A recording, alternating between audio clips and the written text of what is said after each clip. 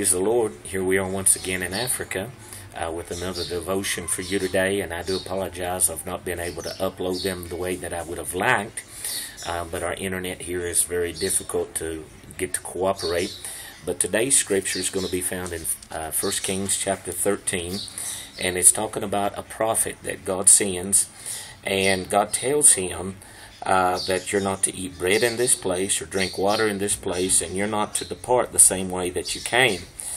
And uh, we find in verses 11 of 1 Kings 13 down to about uh, verse 26 the story of what happened. Uh, the man of God did what he was supposed to do. Uh, he went and prophesied against the false altar. And as he began to leave, a false prophet came and began to lie to him and took him home, and he bought into that lie.